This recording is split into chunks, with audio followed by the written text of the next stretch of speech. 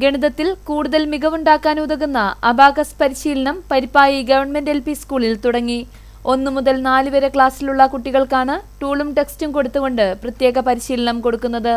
P T A മുൻ president P Sanitha abacus പരിശീലനത്തിന് നേതൃത്വം നൽകുന്നു.